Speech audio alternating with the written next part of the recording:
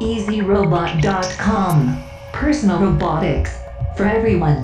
Hey there, I'm DJ Sures.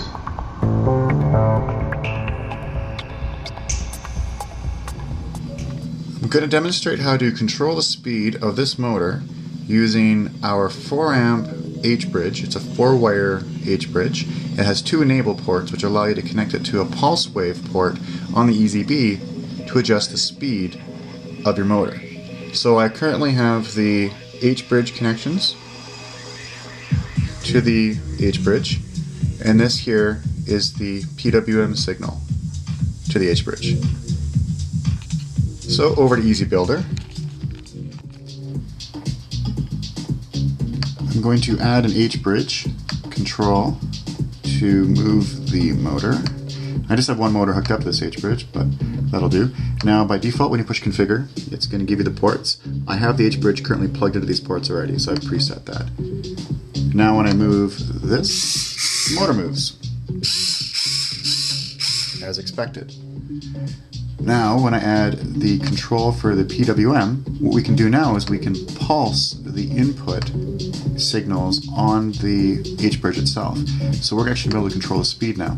So if I put this on full throttle, now when I adjust the speed, I can speed it up and I can slow it all the way down. We can see that here. We're currently at a speed of 31. This is a speed of 10. I can speed it up a little bit more. 40. So what's happening is the pulse wave modulation modulates the current on the pin you specify really, really quickly. And you can adjust how quickly based upon uh, the uh, slide dial that I was just showing you. So when the H-bridge is being told to turn on a specific motor, the enable pins are being flicked on and off really quickly, which actually controls, simulates controlling the DC current that goes out to the actual motor. So it's turning the motor on and off really fast, which simulates a lower voltage. To demonstrate the voltage, I've connected my voltmeter to the PWM. Now as I start moving the slider, you're going to see the voltage go all the way down to 0.16 and see how steady it holds? So now I'm going to start increasing the voltage.